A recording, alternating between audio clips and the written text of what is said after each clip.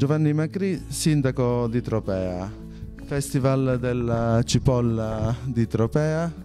Edizione 2022 ritorna alle origini, si potrebbe dire, dopo due anni di Covid, un anno che praticamente l'ha paralizzata completamente la manifestazione, un anno l'anno scorso che ha reso impossibile un coinvolgimento del pubblico, quest'anno si torna fondamentalmente alle origini, in linea, in, in linea perfetta linea e sintonia con quello che era il nostro programma, perché questo evento era un qualcosa di pensato da dieci anni, quindi che si è concretizzato eh, nel 2018 con l'affermazione della lista Forza Europea, quindi nel 2019 ha visto la luce. E quest'anno diciamo il,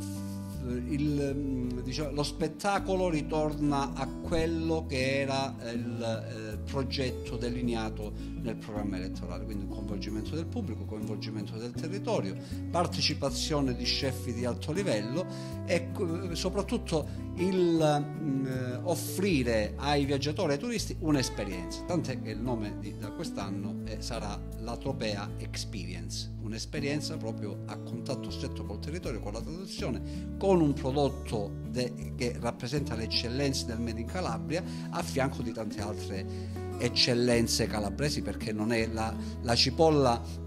non è altro che un, uno dei fiori all'occhiello della produzione enogastronomica calabrese.